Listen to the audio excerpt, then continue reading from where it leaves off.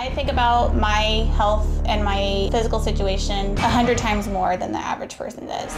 I live my life minute by minute because of my anxiety. Right now I'm feeling anxiety. I can't get a deep enough breath as often as I want to. The light is hurting my eyes and I'm very lightheaded. I was seeing stars like when I walked in here because I'm so lightheaded.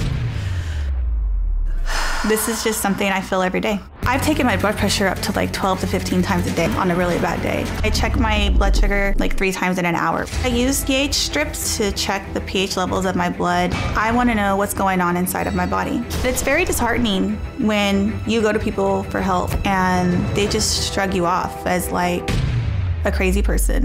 I feel there's an underlying issue that's causing my anxiety that has not been discovered. You talk about anxiety neurosis as though it's not a real disease, as though it's not a real thing, which is kind of an insult to me.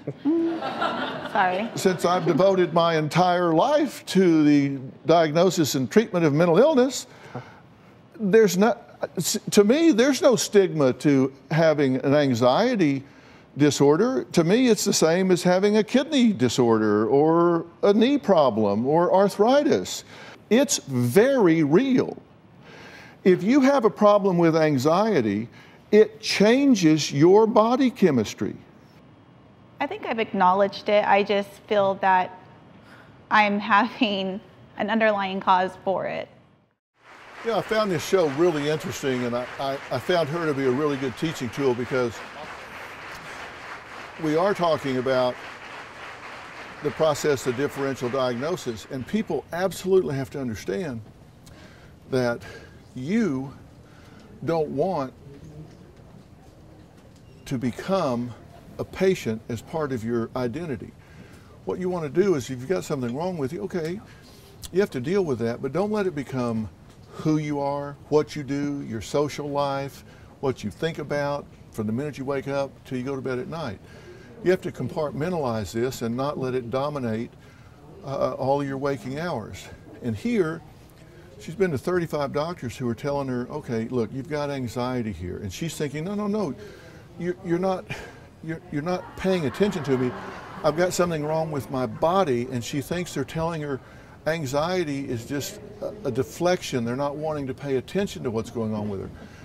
But the truth is, they'll never get to anything that might be going on if she doesn't get that under control because number one, doctors won't look past that. And number two, if she is in such a state of hyperventilation, if she's in such a state of adrenergic arousal, uh, if she's having panic attacks, which creates hypertension, and all of that, they'd have no baseline. They never get a chance to figure out what's really going on. So, currency for her is She'll work on this so they can then diagnose her properly. I, I, I don't think that there's a lot going on besides the anxiety, uh, and I don't think the anxiety came out of the blue.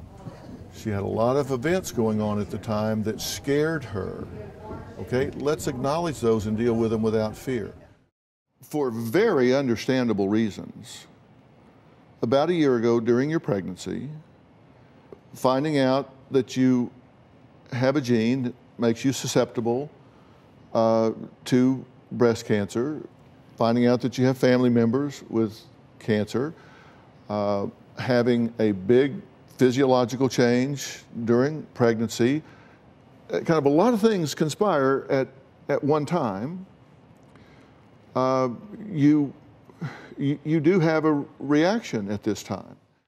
We're going to start by using non-medication and teach her to control these processes inside her body. Biofeedback is a powerful tool. You first learn to relax, then with biofeedback we learn to control certain bodily processes. Uh, we'll deal with this. She will do well.